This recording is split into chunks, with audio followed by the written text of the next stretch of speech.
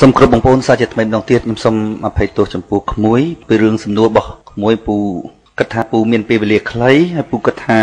ពូចង់និយាយអ្វីដែលវាមានប្រយោជន៍ផ្ដល់ជាចំណេះដឹងឲ្យប្រជាពលរដ្ឋជាជាងការឆ្លើយសំណួររបស់ក្មួយចាំមើលថ្ងៃណាមួយដែលពូ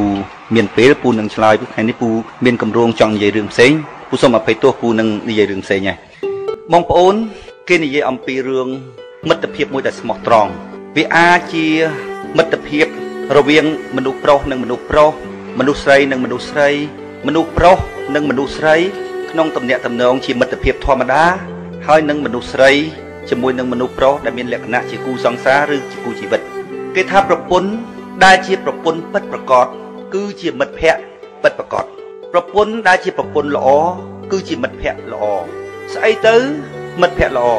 ដើម្បីគូបញ្ជាក់អំពីការស្អិតរមួតរលាយចូលគ្នា នៃចិត្តរបស់បុគ្គលពីរដែលបញ្ជាក់ថានោះគឺជាមិត្តភាពស្មោះត្រង់មិត្តភាពស្លាប់រស់មានអ្នកប្រាជ្ញមួយគាត់និយាយថា ដែលហៅថាមិត្តដែលស្មោះត្រង់គឺជាវិញ្ញាណមួយដែលស្ថិតនៅក្នុងមនុស្សពីរនាក់បងប្អូនស្ទង់ទៅរកដួងចិត្តរបស់បុគ្គលដែលគាត់និយាយអំពីពាក្យនេះថាតើគាត់ចង់គូបញ្ជាក់ថាម៉េចមិត្តភាពដែលស្មោះត្រង់គឺជាវិញ្ញាណតែមួយ ក៏ប៉ុន្តែស្ថិតនៅលើមនុស្សពីរនាក់មិត្តភាពធម្មតា ដែលយើងហៅថាធម្មតា គឺមនុស្សប្រុសនិងមនុស្សប្រុសមនុស្សស្រីនិងមនុស្សស្រីឬមនុស្សប្រុសនិងមនុស្សស្រីក្នុងមិត្តភាពធម្មតា ធម្មតាហ្នឹងគឺផ្សេងអំពីមិត្តភាពផ្លូវភេទគូសង្សារឬគូជីវិតក៏វាអាចមានមិត្តដែលស្មោះត្រង់ដូចតែប្តីប្រពន្ធអញ្ចឹងដែរអញ្ចឹងបានគេនិយាយថាប្រពន្ធល្អគឺជាមិត្តល្អមិត្តដែលល្អ គឺជាមនុស្សពីរនាក់ដែលមានវិញ្ញាណតែមួយស្ថិតនៅក្នុងមនុស្សពីរនាក់ហ្នឹងមានន័យថាក្តិចមួយមួយទៀតឈឺការត្រូវការរបស់បុគ្គលមួយ គឺជាសេចក្តីត្រូវការរបស់បុគ្គលមួយទៀតអញ្ចឹងបងប្អូនត្រូវស្វែងយល់ឲ្យបានយល់ច្បាស់អំពីមិត្តភាពដែលស្មោះត្រង់ហ្នឹងតើគេចង់និយាយថាម៉េចខ្ញុំលើកឧទាហរណ៍អំពីប្តីប្រពន្ធដែលគេចាត់ទុកថាជាប្តីប្រពន្ធដែលជាមិត្តស្មោះត្រង់ហ៎ពីព្រោះគេនិយាយថាប្តីប្រពន្ធ ដែលល្អគឺជាមិត្តដ៏ល្អនឹងគ្នាមិត្តដែលល្អនឹងគ្នាបងប្អូនគឺជាមិត្តដែលអាចនិយាយបានគ្រប់រឿងទាំងអស់លើកលែងតែរឿងខ្លះដែលយើងនិយាយទៅណាវាថែមជាបន្ទុកដល់ដៃគូរបស់យើង មានន័យថាយើងលាក់ទុកនឹងទុកខ្លួនឯងពីព្រោះយើងដឹងថាកាលណាយើងប្រាប់តែដៃគូរបស់យើងមកខាងទៀតនាំតែដៃគូរបស់យើងមានការឈឺចាប់ទេក៏ប៉ុន្តែរឿងផ្សេងផ្សេងទៀតដែលមនសិការរបស់យើងប្រាប់ថា នេះគឺជាដៃគូជីវិតរបស់យើងនេះគឺជាមិត្តភាពដ៏ស្មោះត្រង់របស់យើង គឺយើងអាចប្រាប់គ្រប់រឿងទាំងអស់លើកលែងតែក្នុងករណីពិសេសខ្លះរឿងហ្នឹងបើយើងប្រាប់ដល់ដៃគូរបស់យើង វានាំតែការឈឺចាប់វាបន្ថែមទុកដល់ដៃគូរបស់យើងដោយសារសេចក្តីអាណិតអាសូរដល់ដៃគូរបស់យើងយើងអត់ហ៊ាននិយាយរឿងនឹងប្រាប់យើងលាក់ទុកក្នុងចិត្តរបស់យើងខ្ញុំលើករឿងឧទាហរណ៍ដែលប៉ះពាល់នៅក្នុងជីវិតរស់នៅរបស់ខ្ញុំ ម្ដាយរបស់ខ្ញុំគាត់និយាយថាម៉េចទេគាត់និយាយថាស្រីណាណាដែលមានប្តីជាមនុស្សខ្លាំងមានប្តីជាមនុស្សល្អរួចហើយណាប្រើមនុស្សនឹងមិនជាប់ណាគាត់ថាស្រីនឹងស្រីអន់មនុស្សប្រុសល្អចាត់ទុកជាសេះខ្លាំងបើអ្នកជិះសេះខ្លាំងនេះមិនជាប់ទេចាត់ទុកជាស្រីអន់ពាក្យចាស់យើងនិយាយលេងថាម៉េចទេហើយចុះបើអន់យ៉ាងហ្នឹងហើយចុះបើបើភ្លើយ៉ាងហ្នឹងម៉េចចង់បានប្តីមួយស្អែក ចែកគេខ្លះទៅបើភ្លើយ៉ាងហ្នឹងនោះអត់ចេះថែរក្សាប្តីនឹងផងហ្នឹងចង់បានប្តីមួយតែឯងមិនកើតភ្លើយ៉ាងហ្នឹងចែកគេខ្លះទៅម្ដាយរបស់ខ្ញុំគាត់និយាយថាម៉េចគាត់និយាយថាមនុស្សប្រុសដែលខ្លាំងណាឆ្លាតណាវាតើតែមនុស្សស្រីនឹងខ្លាំងដែរឆ្លាតដែរបានអាចចេះប្រើសេះខ្លាំងនឹងបាន បានសេះខ្លាំងមកដល់ដៃហើយរួចហើយប្រើសេះខ្លាំងមិនបាន ចាត់ទុកជាស្រីអន់បងប្អូន ឪរបស់ខ្ញុំគាត់មានប្រពន្ធពីរមុនម្ដាយរបស់គាត់តដឹងឲ្យមួយពេលដែលស្លាប់ទៅយាយរបស់គាត់តដឹងឲ្យមួយទៀតទាំងពីរហ្នឹងឲ្យខ្ញុំគាត់ថាម៉េចទេនេះគឺជាប្រពន្ធដែលម៉ែរកឲ្យដែលខ្ញុំមិនពេញចិត្តនេះគឺជាប្រពន្ធដែលយាយរកឲ្យដែលខ្ញុំមិនពេញចិត្តទី1គឺស្អាតប្រពន្ធគាត់ហ្នឹងទី2គឺអ្នកមានដល់ពេលចុងក្រោយបំផុតគាត់មកយកម៉ែខ្ញុំពេលដែលគាត់លែងប្រពន្ធទី2របស់គាត់ប្រពន្ធទី1ស្លាប់ គាត់កើតមហារីកដោះគាត់ស្លាប់ទៅសល់កូន2ដល់ពេលមកយកប្រពន្ធក្រោយហ្នឹងដូចជាដល់មួយខែពីរខែខ្ញុំនឹកភ្លេចទៅគាត់លែងទៀតគាត់មកយកម៉ែខ្ញុំដល់ពេលបងប្អូនគេមិនពេញចិត្តបងប្អូនគេកាត់កោចោលឪខ្ញុំណាបំណាច់តែគាត់យល់ថាម្ដាយខ្ញុំមានតម្លៃហ៎បងប្អូនកាត់កាល់គាត់មកតែខ្លួនហ្មងមកការជាមួយម៉ែខ្ញុំណាគឺចងការគេការគេឆ្ងល់គ្រប់គ្នាបងប្អូនគេឆ្ងល់គេមិនយល់អំពីឪរបស់ខ្ញុំថាហេតុអីបានប្រពន្ធមុនមុនស្អាត គឺថាគាត់កាចណាស់ឪខ្ញុំគឺតែវាយនឹងហ្មងរត់មិនរួចទេប្រពន្ធគឺដឹងតែពីវាយនឹងហ្មងប្រពន្ធទី2របស់គាត់តែគាត់មិនស្រឡាញ់គាត់ប្រាប់ថាកុំការតកាលែងដល់ពេលការទៅថាមកទឹកម៉ែនិយាយទៅដល់មកទឹកគាត់ងូតទឹកគាត់ដាក់វ៉ែនតាឲ្យប្រពន្ធគាត់គាត់ថាយកវ៉ែនតាទៅទុកប្រពន្ធគាត់យកវ៉ែនតាទៅដាក់អណ្ដីគាត់មានបំណងបង្កើតរឿងហ្មងឲ្យខ្ញុំគាត់ថយថយទៅជន់វ៉ែនតាហ្នឹងហើយគាត់អត់មាត់ទេស្អែកឡើង គាត់ប្រាប់ប្រពន្ធគាត់ឲ្យទិញអីវ៉ាន់ទៅលេងម៉ែក្មេកទៅលេងរួចហើយគាត់លើកជូនម្ដាយក្មេកវិញទៅហ្មងមកទឹកឪខ្ញុំកាចណាស់បងប្អូនម៉ាត់ណាគឺម៉ាត់នឹងមួយថ្ងៃអត់និយាយមួយម៉ាត់ទេខុសពីម៉ែខ្ញុំម៉ែខ្ញុំគាត់និយាយច្រើនប៉ុន្តែម៉ែខ្ញុំអត់ចេះអសរប៉ុន្តែគាត់ឆ្លាតជាងគេមកក្រុមក្រុមគ្រួសាររបស់គាត់គាត់កូនទី2គាត់ចិញ្ចឹមអស់មកពូជហ្នឹងណាប៉ុន្តែអត់ចេះអសរទេម៉ែខ្ញុំគាត់និយាយថាម៉េចស្រីណាដែលបានប្រុសខ្លាំងរួចហើយណាប្រើមិនបានទុកមិនជាប់ណា ស្រីនឹងស្រីអន់ហ្មងដល់ពេលការជាមួយម៉ែខ្ញុំគេឆ្ងល់គ្រប់គ្នាទាំងម៉ែក្រោយរបស់ឪពុកខ្ញុំម៉ែគាត់បង្កើតស្លាប់បាត់ទៅនៅយាយក្រោយទាំងម៉ែក្មេករបស់ឪពុកខ្ញុំគាត់អត់ពេញចិត្តឲ្យឪខ្ញុំយកកូនគាត់ទេពីព្រោះម៉ែខ្ញុំប្រឆាំងដាច់មុខជាមួយនឹងម៉ែគាត់ម៉ែគាត់លេងល្បែងដល់ពេលអញ្ចឹងម៉ែគាត់ប្រឆាំងដាច់មុខហើយម៉ែរបស់ម៉ែខ្ញុំនឹងត្រូវជាពួកម៉ាក់របស់ឪខ្ញុំហ្មង ឪរបស់ខ្ញុំបងម៉ែខ្ញុំ24ឆ្នាំម៉ែខ្ញុំក៏បាក់បាក់ពើកហ្នឹងណាគេមកតដឹងអត់ឈប់ទេបងប្អូនរើសនោះម៉ែរើសយាយខ្ញុំក៏សួរថាចំមីកបាក់ថ្ងៃក៏រើសប្តីម្លេះម៉ែខ្ញុំគាត់គិតថាម៉េចទេបើឲ្យប្តីមកសត្វតអ្នកលើអញ្ចឹងស្រុកខ្ញុំគេហៅអ្នកស្រុកលើអ្នកស្រុកកាប់ចាក់អ្នកស្រុកគ្រូខ្មែរអ្នកស្រុកគ្រូកថាម៉ែខ្ញុំថាមិនយកទេកូនហើយអញនឹកឃើញដល់កូនត្មងបើប្តីរបៀបហ្នឹងកើតកូនម៉េច ដល់ពេលឪខ្ញុំចូលតដឹងបង24ឆ្នាំឪខ្ញុំហ្នឹងពួកម៉ាក់របស់ម៉ែរបស់ម៉ែខ្ញុំអាយុសកលគ្នាហ្នឹងគាត់តែចូលមកតដឹងម៉ែគាត់ថាលួចស្ដាប់អញយកហើយពួកឪឯងទី1ស្អាតទី2ឆ្លាតចិត្តល្អណាស់អញមើលយកហើយពេលដែលមកតដឹងរួចហើយនៅជាមួយគ្នាបងប្អូននិយាយពីអ្នកស្រុកអ្នកភូមិជាពិសេសគឺបងប្អូនខាងឪពុកខ្ញុំគេចេះតែឆ្ងល់ថាឪខ្ញុំស្អាតហើយឆ្លាតប្រពន្ធមុនមិនក៏នៅជាមួយមិនបាន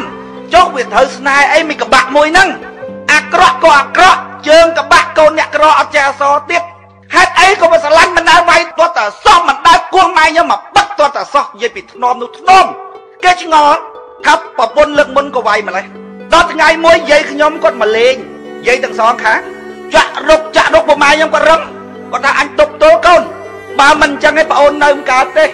ម៉ែលេងបៀយ៉ាងនេះលក់អស់ស្រែលក់អស់ភ្លឺលក់ទាំងកូនទៅទៀតអញ្ចឹង មិនកើតទេឆ្លោះទាត់តែងជាមួយនឹងម៉ែហ្នឹងដល់ពេលយូរយូរយូរយូរយាយគាត់ចាក់រុកចាក់រុកម៉ែខ្ញុំគាត់ជូនជើងគាត់ថាម៉ែទាំងពីរបើម៉ែនិយាយធ្វើម៉េចចាឲ្យប្តីខ្ញុំលែងខ្ញុំបានណាខ្ញុំជូនសពុតអាថ្លៃមួយជូនម៉ែមួយម្នាក់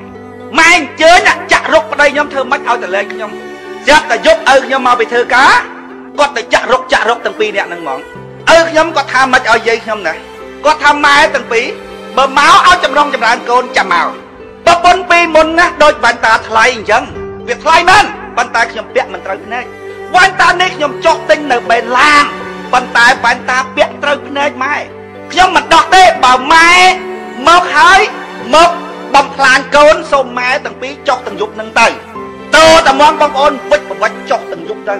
ដើរនិយាយគ្នាថាវាមិនបានជាហួតជាហួតនឹងឪខ្ញុំក៏វាងប់នឹងប្រពន្ធនឹងខ្លាំងម្ល៉េះ បងប្អូនហើយម៉ែខ្ញុំក៏ថាកូនហើយកូនឪពុកឯងណាក្រៅពីប្តីគឺជាអ្នកមានគុណក្រៅពីអ្នកមានគុណណាគឺជាគ្រូម៉ែមិនអោយប្រុសណាកន្លងខ្លួនម៉ែជាលើកទី2ទេកូនរកមិនបានទេក្នុងលោកនេះឪរបស់ឯងហើយគិតមើលមើលគ្រួសារម៉ែទាំងបងទាំងវាយគេចិញ្ចឹមទាំងអស់ប្តីរស៊ីម៉ែចេះអីគ្រាន់តែគាត់ចិត្តប្តីមួយគ្រាន់តែដឹងចំណុចខ្សោយថាប្តីចង់បានអីមួយធ្វើគាត់ចិត្តមិនបានផង កូនបច្ចាណាមើលវាសំទៅនឹងបានប្តីដែលជាអ្នកចេះដឹងដែលជាមនុស្សល្អគឺជាសេះបណ្ណាំងដ៏លឿនកើតអត់ឪខ្ញុំគាត់មានកូនពីរបងប្អូនកូនមុនម៉ែខ្ញុំណាទោះបីជាកូនមុនហ្នឹងគាត់មានចរិតយ៉ាងម៉េចក៏ដោយឪខ្ញុំណាបងប្អូនពេលដែលគាត់ក្រគាត់ចង់មកនៅជាមួយនឹងប្រពន្ធណាគាត់ចេញពីផ្ទះនឹងមកស្អីក៏មិនយកដែរបងប្អូនដល់ពេលគាត់ទៅវិញគាត់ទៅជួបកូនគាត់បងនឹងគាត់សុំរត់យោមួយបក្រពេក កូននឹងថាម៉េចថាចាំប្រពន្ធខ្ញុំមកសិនចាំខ្ញុំសួរប្រពន្ធខ្ញុំបងប្អូនណាចុះពីលើផ្ទះវឹងកាត់ការកូនហ្មងកាត់កាលហ្មងប្រាប់ថាអត់ឲ្យកាន់ឆ្អឹងទេអត់ឲ្យកាន់ឆ្អឹងអញទេអត់រហូតឪខ្ញុំតែនិយាយមិនអញ្ចឹងដែរបងប្អូនកាច់ណាស់ម៉ែខ្ញុំណាទោះបីឪខ្ញុំអញ្ចឹងមួយកូនគាត់ល្អមួយកូនណាបងប្អូនល្អជាមួយកូនដល់ពេលអញ្ចឹងឪខ្ញុំគាត់ស្លាប់ចិត្តបងប្អូនស្លាប់ចិត្តអ្វីដែលជាសេចក្តីត្រូវការរបស់ប្តីគាត់ស្វែងយល់រហូតបងប្អូន គាត់ថារមមិនបានទេប្រពន្ធដោយប្រពន្ធគាត់ហ្នឹងរមមិនបានទេបងប្អូនអត្រង់ហ្នឹងបងប្អូនតែខ្ញុំចង់ប្រាប់ស្រីទាំងឡាយដែលគាត់ចង់សម្លាប់ចិត្តប្តីបងប្អូនគាត់អត់ចេះរបៀបសម្លាប់ចិត្តប្តីបងប្អូនបើជាសេចក្តីស្នេហាពិតណាសំខាន់ណាស់បងប្អូនគឺការស្វែងយល់ចិត្តគ្នាបងប្អូនណាមនុស្សប្រុសម្នាក់វាស្រឡាញ់ស្រីវាស្ទង់មើលឧទាហរណ៍ថាវាចង់ទិញរបស់ឲ្យស្រីវាត្រូវស្ទង់ថាស្រីនឹងឧបមាថាត្រូវការវាអាវទិញអាវឲ្យ វាត្រូវដឹងថាស្រីនឹងចូលចិត្តអាវពណ៌អីម៉ូតរបៀបម៉េចបើវាអត់តាមដានវាទិញអត់ត្រូវទេបងប្អូនណាវាតាមដានវាដឹងណាស់វាលោបមើលសពគ្រប់ទាំងអស់ដល់ពេលវាដាក់ទៅត្រូវផ្លឹបអាហ្នឹងហើយគេហៅស្វែងយល់ចិត្តបងប្អូនណាមនុស្សស្រីភាគច្រើនអត់យល់កន្លែងហ្នឹងបងប្អូនណាស្លាប់ចិត្តប្តីអត់បានផងរួចហើយទៀមទីឲ្យតែប្តីស្រឡាញ់ធ្វើស្អីបទាញយកតែចិត្តខ្លួនឯងអត់មានដែលស្វែងយល់អំពីការយល់របស់ប្តីនឹងសោះឧទាហរណ៍តែប្តីស្រឡាញ់ LDP អត់ទាន់តែបានយល់ថាអាប៉ែកនឹងវាល្មិចបានជាវាចូលចិត្ត LDP នឹងម្លេះលុយបបាក់រោវាថុកថុកយកលុយទៅឲ្យគេវាល្មិចអញចង់ដឹងបន្តិចមើលតាមដានណាបងប្អូនតាមដានប្តីស្ដាប់មើលប្តីនឹងស្ដាប់នឹងស្ដាប់រឿងអីបើសិនណាជាវាចេះអញ្ចឹងបងប្អូនស្ដាប់យល់បាត់ណាបើសិនណាជាប្តីនឹង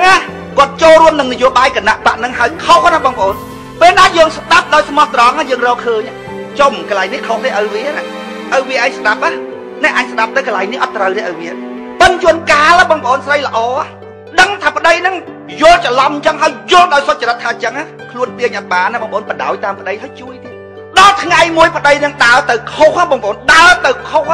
នឹកឃើញដល់ចិត្តប្រពន្ធណាអោប្រពន្ធហើយដឹងថាប្តីខុសកន្លែងនឹងដឹងថាខុសហើយនៅជួយលុយជួយកាក់ជួយឲ្យប្តីសម្រេចបទបំណងទៀតទៅកន្លែងឃើញប្រពន្ធនោះស្រក់ទឹកភ្នែកបងបងប្អូន រួចហើយដល់ពេលនោះយើងមានឱកាសនិយាយថាបងខ្ញុំដឹងថាខុសយូរហើយក៏ប៉ុន្តែដើម្បីឲ្យបងត្រឡប់មកវិញមធ្យោបាយល្អត្រឹមត្រូវអត់ទាញបងតំណតំណែងទេឲ្យបងទៅសិនខ្ញុំដឹងថាបងខុសនេះគឺខុសដោយការភ័ន្តច្រឡំទេដូច្នេះលែងខ្សែទៅសិនខ្ញុំជួយបងឲ្យបានពាល់ត្រូវក្នុងរឿងនឹងសិនរឿងធំជាងគេ គឺចង់បានបងត្រឡប់មកវិញគ្មានចង់បានអីក្រៅអំពីចង់បានបងឡើយធ្វើការតបងមួយហ្នឹងគឺចប់ហ្មង ប្តីឧទាហរណ៍ទៅស្រុកគេប្តីយើងទៅរៀនទៅអីស្រុកគេហ្មងបងវាមិនដែលបានលុយច្រើនទេគ្នាទៅរៀនហ្នឹងឧទាហរណ៍មួយថ្ងៃគេឲ្យ50 50ស្រុកគេច្រើននេះចាយផងអីផងសំលុយបានបន្តិចទួចមកវិញអត់មានទិញអីឲ្យប្រពន្ធទេបងប្អូនទិញឲ្យគេប្រពន្ធក្លាថាបានលុយមិនក៏មិនឲ្យខ្ញុំផងតែឲ្យគេស្រឡាញ់គេជាងស្រឡាញ់ប្រពន្ធឯងបងប្អូនស្រីល្អស្វែងយល់ពីចិត្តប្តីតើហេតុអីក្រប៉ុណ្ណឹងហើយយកលុយទៅឲ្យគេតើអំនេះនឹងសំខាន់ប៉ុណ្ណាពេលណាឃើញប្តីអញ្ចឹងណា ចូលរួមជាមួយប្តីទៀតអូខេបើមានលុយបន្ថែមទៅទៀតសុកចិត្តអត់ខ្លួនឯងបន្ថែមដើម្បីឲ្យប្តីនឹងសម្រេចអាវត្ថុបំណងហ្នឹងលេបទុកព្រួយតឯងណាបងប្អូនពេលនោះណាកលែកមកមើលប្រពន្ធណាបងប្អូនស្រក់ទឹកភ្នែកមកសួរវិញថាអូនចង់បានអីអត់ចង់បានអីចង់បានតែបងបងប្អូនណាសម្លាប់ចិត្តប្តីបានតែហ្មងបងប្អូនមនុស្សស្រីចឹងម៉ែខ្ញុំក៏ថាចឹងគាត់ថានៅពីមុខគេមើលឃើញថាឪហើយខ្លាំងណាស់បាត់នៅក្នុងមុខអញណាគាត់និយាយតែអញ្ចឹង ហើយចុះបើនៅខាងមុខបំបាក់មុខប្តីហើយហ្នឹងបំបាក់មុខរបស់ឯងហើយហ្នឹងឲ្យគេកន្លងខ្លួនកើតដែរបើរបស់អន់កន្លងខ្លួនហែងហើយហែងហ្នឹងវាចំណាប់បណ្ណាទៅគាត់និយាយអញ្ចឹងម៉ែខ្ញុំណាបងប្អូនអញ្ចឹងបានម៉ែខ្ញុំគាត់ថាវាអត់ដឹងអត់ដឹងថាឪហែងស៊ីធွာអីស្ទុះអត់រួចពីម៉ែខ្ញុំបងប្អូនម៉ែខ្ញុំគាត់ល្ងងក៏ពិតមែនអត់ចេះអសរក៏ពិតមែនតែគាត់ឆ្លាតចឹងគាត់ថាកូនណាចង់បានអីទៀតបងប្អូនអញសត្វតែស្រីអត់មានពីណាចាំទេអញមានកម្លាំងណាចាំកូនឪហែងធ្វើការងារទាំងអស់ ហើយចុះគ្រាន់តែតម្រូវចិត្តគេមិនក៏ធ្វើមិនបានអានឹងហើយដែលគេហៅថាមិត្តភាពពិតប្រកបទៅបងប្អូនគឺជាដួងវិញ្ញាណមួយនៅក្នុងមនុស្សពីរនាក់បងប្អូនក្តិចមួយឈឺមួយក្តិចមួយឈឺមួយមនុស្សស្រីច្រើនណាស់អត់យល់អញ្ចឹងតែពឹបឡើងឃើញប្តីធ្វើអីមិនដែលស្វែងយល់ពីប្តីថាខុសហ្មងឲ្យទាញបកាច់យកបរោយអូបងប្អូនណាទាញចិត្តប្តីអត់បានទេមនុស្សស្រីដែលយកអាខ្លួនឯងទៅប្រៀបនឹងអាអ្វីជាសេចក្តីត្រូវការចំណងរបស់ប្តីដែលកំពុងតែធ្វើអានឹងប្រទៀបខ្លួនឯងដូចប្រើពាក្យថា អឺនេះភីហើយនឹងអូនណាឥឡូវបងឯងជ្រើសរើសបងឯងយកពីណាចុះតម្លៃបាត់ហើយបងប្អូនចុះតម្លៃបាត់ហ្មងស្អីដែលត្រឹមត្រូវបងប្អូនស្វែងយល់ថា LDP នឹងមិនបើឃើញថាត្រូវចូលរួមជាមួយបើឃើញថាខុសទាញប្តីមកវិញទាញតាមបច្ចេកទេសបើយល់ចេះចាប់បើថាទាញមិនបានទេយើងដឹងថាប្តីយើងមិនមែនខូចទេប៉ុន្តែយល់ខុសបានធ្វើការងារនឹងជួយថែមទៀតវាគង់តែដល់ថ្ងៃមួយបងប្អូនប្តីហ្នឹងនឹងដឹងថារឿងហ្នឹងវាខុសពិតមែនត្រឡប់មកក្រោយវិញស្រក់ទឹកភ្នែក ពេលហ្នឹងបងប្អូនស្លាប់ចិត្តចឹងបានបងប្អូនលែងវាដើរលែងដើរទៅរកអាណាក៏ដោយមិត្តភ័ក្តិយ៉ាងណាក៏ដោយបងប្អូនអត់ដែលភ្លេចប្រពន្ធនេះត្រឡប់មកវិញស្អីខ្លាំងអញ្ចឹងបានវាសំមានប្តីមួយតែឯងកើតបើវាប្រភ្លើ10គុតទៅចែកគ្នាប្រើទៅអើយបើវាល្ងងទៀងយកទៀងយកតែចុងនោះអត់សម្លាប់ចិត្តប្តីបានបងប្អូនមនុស្សប្រុសមានចំណុចខ្សោយបងប្អូនមនុស្សប្រុសចិត្តមិនទន់ជាមួយអាណាក៏ចិត្តទន់ជាមួយប្រពន្ធខ្លួនឯងដែរ បើតាណាជាបងប្អូនចេះគឺចង់មិនចេះដើម្បីសម្លាប់ចិត្តប្តីទេបងប្អូនគឺយើងចូលរួមក្នុងជីវិតរបស់ប្តីដើម្បីសម្រេចវត្ថុបំណងជាគូជីវិតដែលថាមនុស្សដែលស្រឡាញ់គ្នាពិតប្រកបទៅបងប្អូនគឺស្វែងយល់ពីគ្នាខ្លាំងណាហើយចុះបើឃើញប្តីធ្វើអីមួយមិនទាន់បានស្វែងយល់ផងរួចឲ្យទាញយកទាញយកបងប្អូនពិចារណាមើលគេស្រឡាញ់យើងឬគេធ្វើដើម្បីតែផ្គប់ចិត្តគេសូម្បីតែរូបប្តីហ្នឹងក៏គេស្រឡាញ់ដើម្បីផ្គប់ចិត្តគេដែរ ដើម្បីតម្រូវចិត្តគេដែរគេយកយើងជារបស់មួយដែលគេធ្វើតាមចិត្តរបស់គេទាំងអស់ឲ្យគេឈ្នះចោះមនុស្សស្រីឲ្យមនុស្សប្រុសនឹងឈ្នះចោះទៅបន្តិចទៅ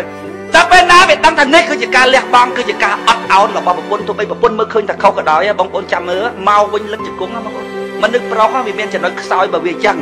ដល់ពេលបងប្អូនអត់យល់កន្លែងហ្នឹងបងប្អូនយកខ្លួនឯងទៅប្រៀបធៀបជាមួយនឹងអ្វីដែលប្តីយល់ថាត្រឹមត្រូវទោះបីខុសក៏ដោយក៏យល់ថាចឹង តាប្រៀបធៀបមនុស្សប្រុសនឹងខ្លាំងមែនតើនឹងរឿងហ្នឹងគាត់យល់ថាចឹងគាត់ត្រូវធ្វើក្នុងជីវិតគាត់ត្រូវធ្វើអាហ្នឹងយើងយកទៅប្រៀបធៀបទៅស្រាលស្ងើអស់តម្លៃទៅអស់តម្លៃទៅជួនកាលមកជីវិតដែរដីប្រពន្ធមិនដែលឆ្លោះមួយគ្នាផងស្រាប់តែដល់ពេលគាត់ស្ដាប់យើងយល់គាត់យល់ថាត្រឹមត្រូវប្រពន្ធនិយាយចឹងបងប្អូនអស់តម្លៃថ្ងៃហ្នឹងរហូតដល់និយាយថាមកចេះបើនិយាយស្ដាប់គ្នាមិនបានចែកផ្លូវគ្នាឆ្ងល់ហ៎បងប្អូនឆ្ងល់ជុំការមួយគ្នា20 30ឆ្នាំហើយមានកូនប្រពន្ធប៉ុណ្ណាណៃហើយស្រាប់តែមកលែងគ្នាដោយសារ LDP ពីដើមមកមិនដែលឆ្លោះគ្នាទាស់សោះហេតុអីបាន LDP នឹងធ្វើឲ្យដល់ថ្នាក់ហ្នឹងបើវាចេះឆ្ងល់អញ្ចឹងវាស្វែងយល់បាត់ហើយបងប្អូនវាអត់ឆ្ងល់វាអត់ស្វែងយល់វាទាញយកដើម្បីតែបំរើតណ្ហារបស់វាឯណាដែលគេថាប្តីប្រពន្ធពិតប្រកបណាមិត្តភាពពិតប្រកបណាគឺជាវិញ្ញាណមួយ នៅក្នុងរូបកាយពីរណាវាអត់មានបងប្អូនវាអត់ដល់អត់អញ្ចឹងរស់នៅជាមួយគ្នាបងប្អូនវាគ្រាន់តែគម្រប់កិច្ចចាំដល់ថ្ងៃបែកគ្នាទៅ ប៉ុន្តែដើរចូល LDP ពេលណា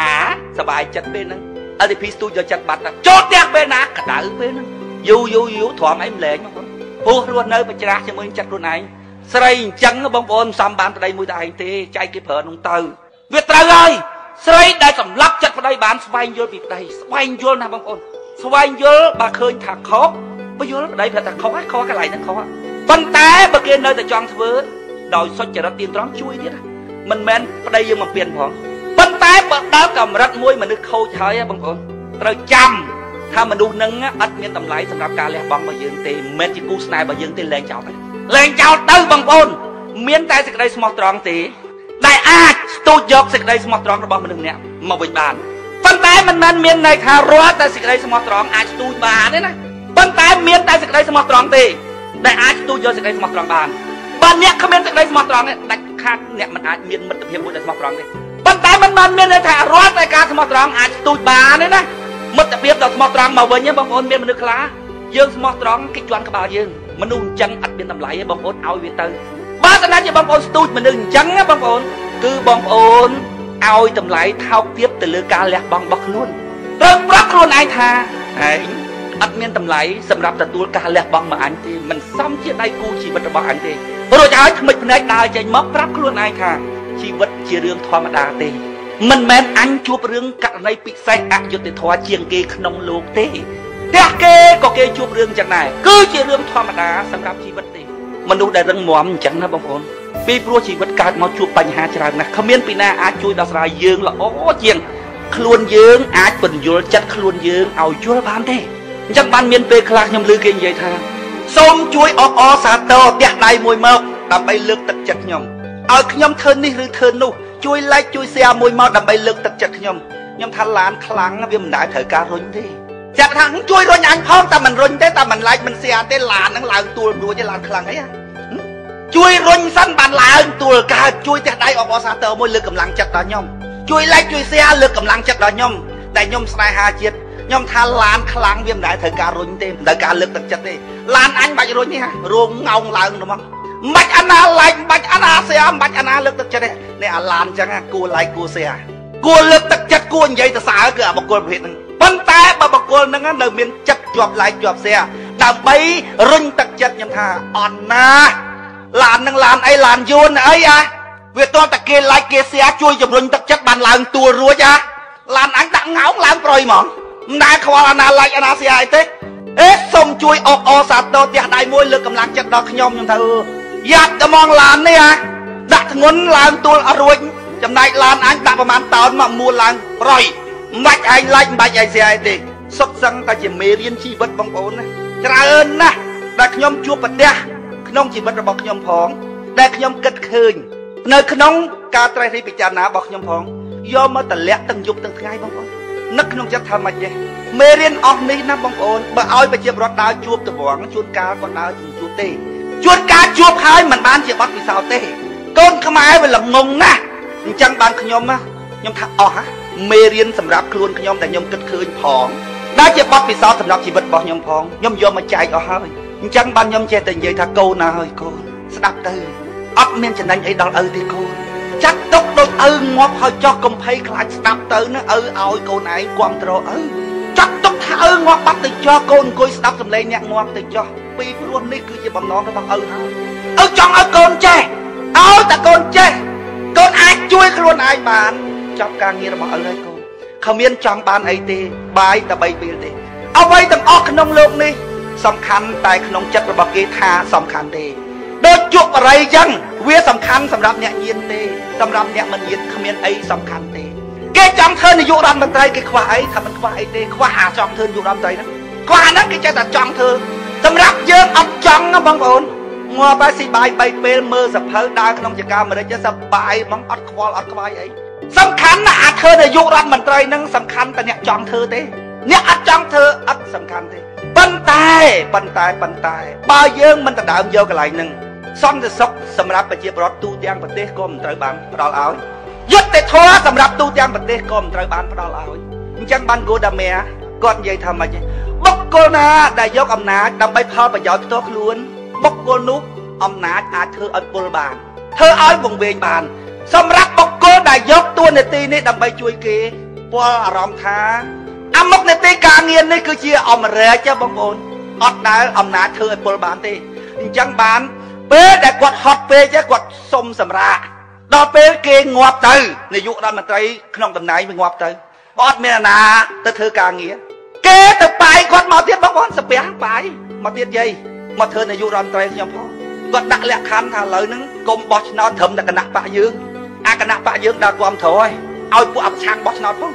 អាប្រឆាំងហ្នឹងបោះឆ្នោតឲ្យយាយនឹងធ្វើយុរដ្ឋមន្ត្រីទៀតគាត់បោកក្បាលគាត់ថាទៀតអូ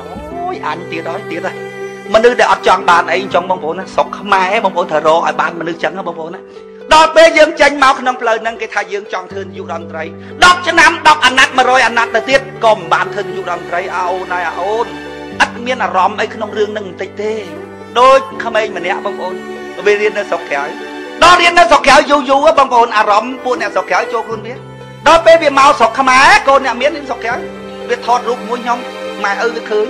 ដល់ម៉ែឪវាឃើញថាម៉េចទេ កូនឯងទៅថតរូបជាមួយមេគណៈបពប្រឆាំងមកដល់ស្រុកខ្មែរអញមិនដឹងរកការងារណាឲ្យឯងធ្វើទេ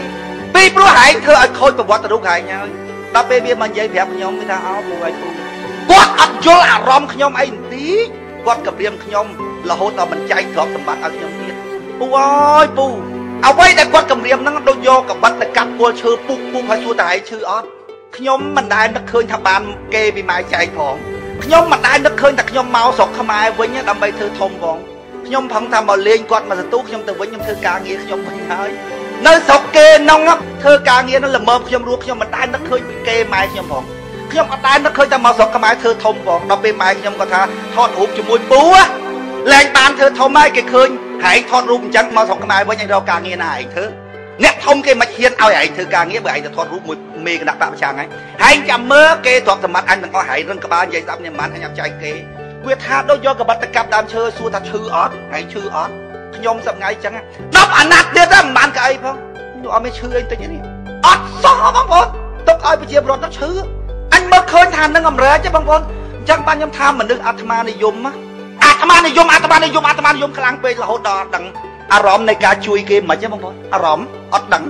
បងប្អូនណាខ្ញុំមើលឃើញប្រជាប្រដ្ឋខ្មែរដែលពិបាកខ្ញុំឃើញកូនក្មេងដែលអត់បាយអត់ទឹកស៊ីវាធ្វើការនៅតាមព្រៃតាមផ្សាយតាមស្រែតាមចំការបងប្អូនខ្ញុំជិះឡានដើរទៅ